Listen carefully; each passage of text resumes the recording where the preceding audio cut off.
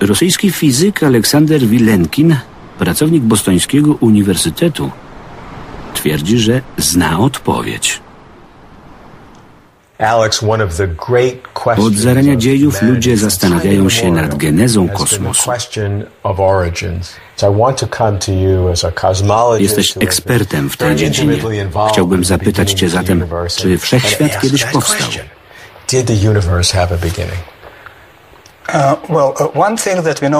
Wiemy, że ludzie żyją w epoce po wielkim wybuchu. Przed około 14 miliardami lat kosmos był mały, gęsty i szybko się rozszerzał. Czy jednak to był jego początek?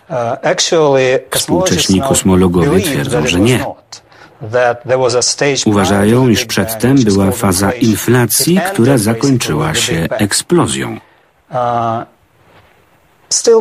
Nie wiadomo jednak, co działo się wcześniej. Wygląda na to, że nigdy się tego nie dowiemy, bo można bez końca pytać o odleglejsze dzieje.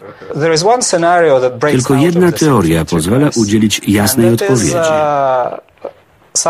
Zgodnie z nią, wszechświat powstał z niczego, w sposób spontaniczny. Wiem, że w ustach fizyka brzmi to dziwnie.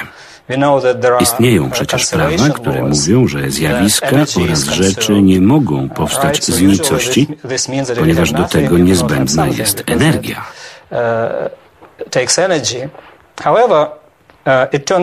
Jednak wszechświat potrafi tworzyć trójwymiarowy obszar zamknięty, podobnie jak powierzchnia Ziemi, która stanowi dwuwymiarową, zamkniętą przestrzeń. Jeżeli będziemy szli w jednym kierunku, dojdziemy do punktu początkowego. W jakim wypadku energia grawitacyjna, zawsze przyjmująca wartości ujemne, równoważy dodatnią energię materii, a zatem taki wszechświat może powstać spontanicznie. Ponieważ suma wartości ładunków wynosi zero. Dodatnie znoszą ujemną energię grawitacyjną, czyli zakrzywienia czasoprzestrzeni. Właśnie. Żadne prawo zachowania nie koliduje więc z tą teorią kosmologiczną. Według zasad mechaniki kwantowej istnieje wręcz prawdopodobieństwo wystąpienia takich zdarzeń.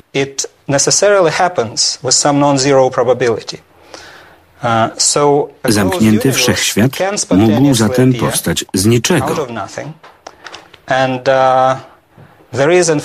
Znamy nawet wzór matematyczny opisujący spontaniczne narodziny małego kosmosu o bardzo dużej energii, który natychmiast zaczyna się rozszerzać.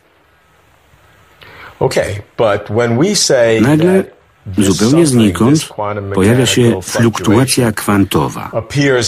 Ładunki się równoważą i przestrzegają prawa zachowania energii. Ale przecież już wcześniej musiały istnieć odpowiednie warunki, dzięki którym to wszystko mogło się wydarzyć.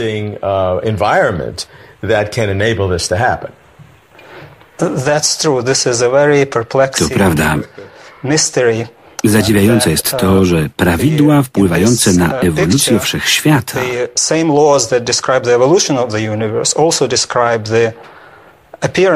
opisują także jego wygląd oraz genezę. To znak, że istniały przed początkiem wszystkiego.